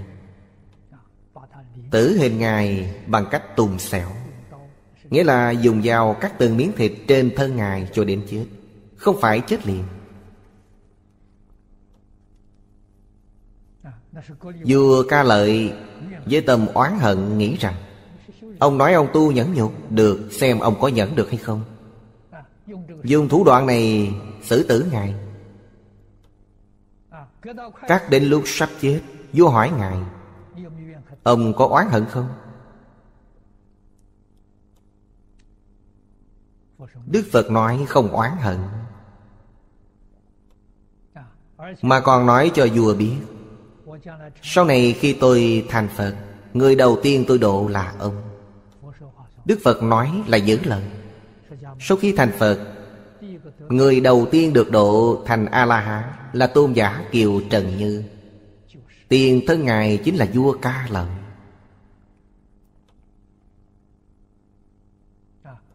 Đây là mô phạm. Mà Đức Phật Thích Ca Mâu Ni Thể hiện cho chúng ta thấy Không hề có mảy may oán hận. Chẳng những không oán hận Mà còn có lòng biết ơn. Vì sao? Vì họ đến kiểm tra xem Mình nhẫn nhục đến trình độ nào. Nếu tốt nghiệp, Sẽ thành Phật. Cho nên, Đức Phật Thích Ca thành Phật Là vị Phật thứ năm Trong hiền kiếp. Sau Đức Phật Di Lặc? Vì nhẫn nhục Ba la mật viên mạng Nên Ngài thành Phật trước. Thành Phật trước Đức Phật Di Lặc. Phật Di Lặc thành Phật sau? Ngài thành Phật trước. Quý vị nghĩ xem có nên cảm ơn vua ca lợi chăng? Cho nên chúng ta bị người khác Định hủy bán. Mã nhục, hãm hại, Phải cảm ơn họ, Không nên có chút oán hận nào. Họ đến kiểm tra mình biết trình độ của mình nâng cao lên. Nếu còn một chút chưa buông bỏ, Thì không được. Phải thi lại từ đầu. Một lần thi là đậu ngay. Không cần phải thi lần thứ hai nữa. Nhưng cảnh giới của quý vị không ngừng hướng thượng, dương lên. Phải liên tục tham gia cuộc thi. Con đường giác ngộ này Không phải thuận buồm xuôi gió. Nếu thật sự tu nhẫn nhục là thuận buồm xuôi gió. Việc tốt đấy Không phải việc xấu đâu. Vấn đề ở chỗ quý vị dùng ánh mắt nào nhìn sự việc? Nếu quý vị dùng ánh mắt của người giác ngộ, Đó là việc tốt. Nhân giả vô địch. Nhân giả là Bồ Tát. Bồ Tát đối với tất cả chúng sanh Không có một mối địch nào. Bồ Tát nhìn chúng sanh Đều là Phật Bồ Tát Như thế là đúng. Phật Bồ Tát đến thử mình. Các ngài thể hiện ra muôn vàng ác sự, Tạo muôn vàng nghiệp tội cho quý vị xem Xem quý vị có chịu đựng nổi không? Có nhìn vào mắt không? Nếu nhìn không vào mắt thì không được, Công phu còn kém xa lắm.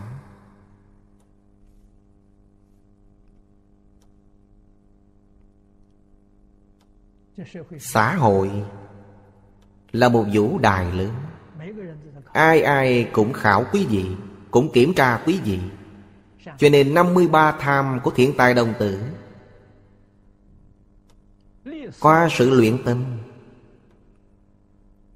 53 tham là xã hội hiện thực Nam nữ già trẻ.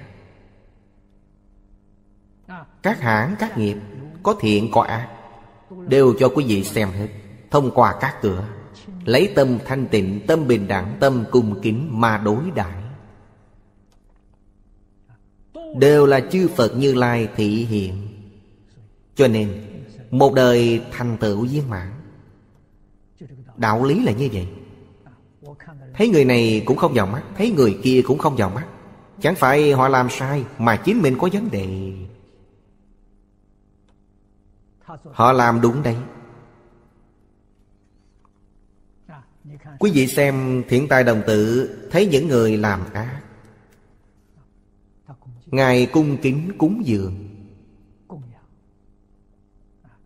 Không tán thán.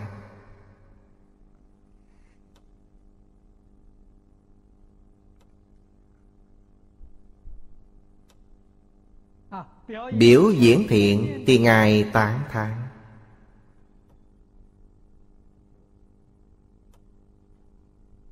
Biểu diễn trái ngược lại, Ngài không tán thán, Nhưng cung kính cúng dường. Thịnh giáo Không thiếu điều gì.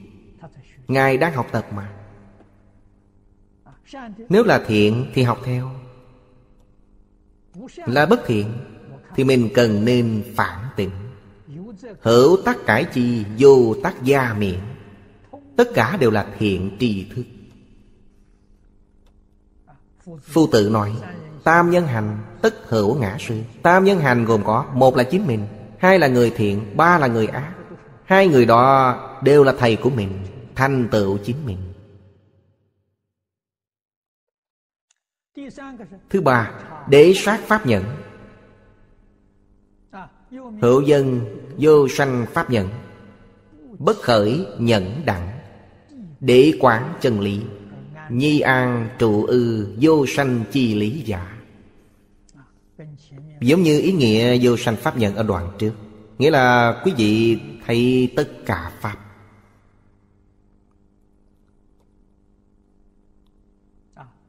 Thấy được tánh tướng, Lý sự, nhân quả của tất cả Pháp. Không động tâm.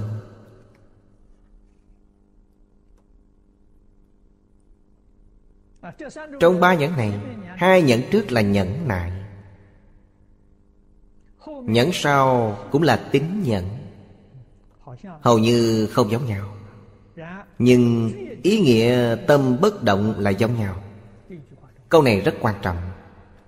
Nghĩa là bất luận cảnh giới nào hiện tiền cũng không phân biệt, không chấp trước. Hàng Bồ Tát địa vị cao, Chứng được vô sanh Pháp nhẫn.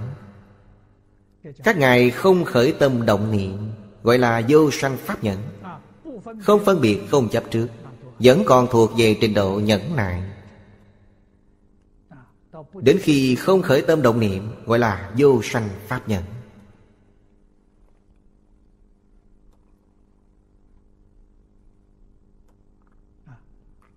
Kim Hoa Nghiêm Cũng nói về ba nhẫn này.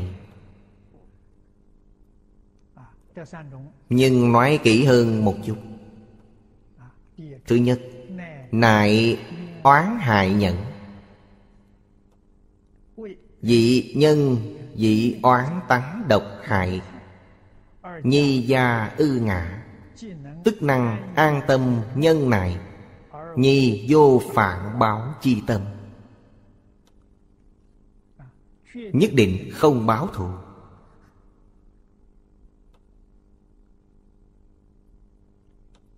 Người xưa nói, Nghịch lai thuận thọ.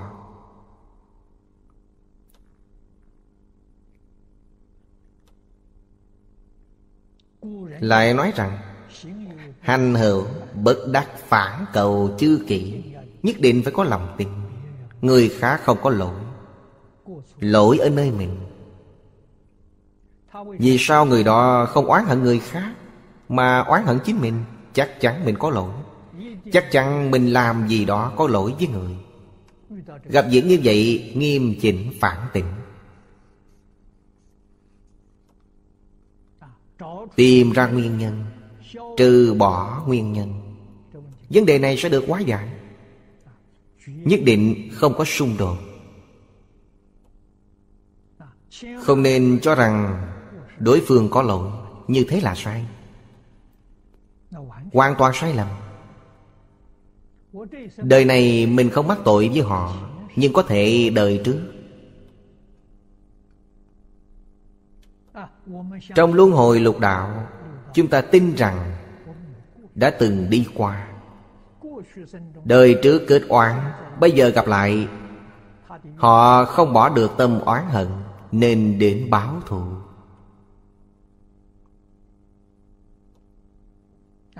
Chúng ta học Phật, Hiểu được đạo lý này rồi, Phải nên chấp nhận. Bị đánh, Không đánh trả. Bị chửi, không đáp lại. Người ta chửi mình, lắng nghe. Họ chửi mệt rồi, tự nhiên sẽ không chửi nữa. Bản thân mình luôn luôn biểu hiện tâm chân thành, Cung kính. Không hề oán hận, Thì oán kết này sẽ được hóa giải. Điều này rất quan trọng. Thứ hai, An thọ khổ nhận Ở đây đưa ra một ví dụ. Dị tật bệnh thủy quả đào trượng đẳng Chúng khổ. Sợ bách tức năng an tâm nhẫn, Thọ điềm nhiên bất động. Đó là gì? Là nghiệp chướng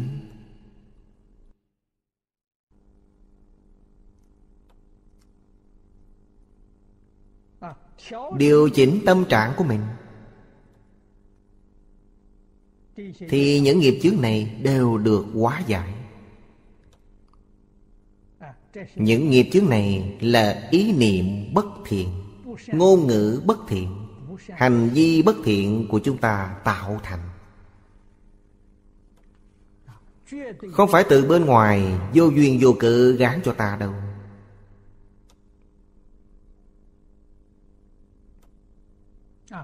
Thứ ba, Để sát Pháp nhận Dị thẩm sát Chư Pháp Thể tánh hư huyễn, Bổn vô sanh diệt Tín giải chân thực, Tâm vô vọng động, An nhiên nhẫn khả. Nhận ở đây có nghĩa là khẳng định, Có nghĩa là đồng ý. Những đạo lý Đức Phật dạy trong kinh, Mình đồng ý, Tiếp nhận, Khẳng định. Có nghĩa là như vậy. Có khi Đức Phật giảng đạo lý thâm sâu. Tuy ta không thể lý giải, Nhưng không hoài nghi. Lâu ngày chày tháng sẽ hiểu được. Cho nên học kim giáo, Phương pháp người xưa dạy chúng ta Là nhất môn thâm nhập Trường thời huân tu, Chắc chắn có lý. Trường thời huân tu nói lên rằng, Học một lần chắc chắn không đủ. Được mấy người đọc một lần là khai ngộ. Có đấy, Như Ngài Huệ Năng, Một lần là khai ngộ ngay. Người như vậy quả ít. Điều này ta không học được. Cho nên nhất định chúng ta phải lặp đi lặp lại. Tôi có một thói quen đọc sách. Những môn học quan trọng, Ít nhất đọc 10 lần. Đây là tiêu chuẩn thông thường của tôi. Đọc 10 lần, Nghe 10 lần. Ngày xưa không có băng điện, Không có những thứ này. Nơi nào có giảng kinh, Thì tôi đến đó nghe. Nghe càng nhiều càng tốt. Tôi nghe thầy Lý giảng môn Phật học khai yếu. Tôi đã nghe giảng 11 lần. Mỗi lần mở lớp dạy môn này, tôi đều đến nghe.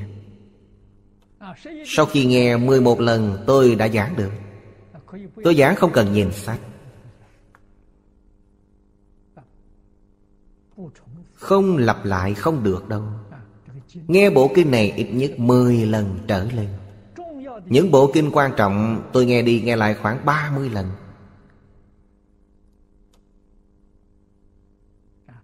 Mới thật sự lãnh hội được. Nghe ít không được đâu. Cho nên học Phật không được lợi ích, Không gì khác ngoài việc nghe quá ít. Thời gian quân tập không đủ. Thật sự quân tu thời gian dài, Tự nhiên sẽ hiểu được. Tự nhiên sẽ tương ứng. Hết giờ rồi, hôm nay chúng ta học đến đây. Đà Phật, Nguyện đem công đức này Hồi hướng bốn ân và ba cõi. Nguyện khắp Pháp giới các chúng sanh, Đồng sanh cực lạc thành Phật đạo. Chúng Phật tử đạo tràng tịnh độ. Nam Mô A Di Đà Phật.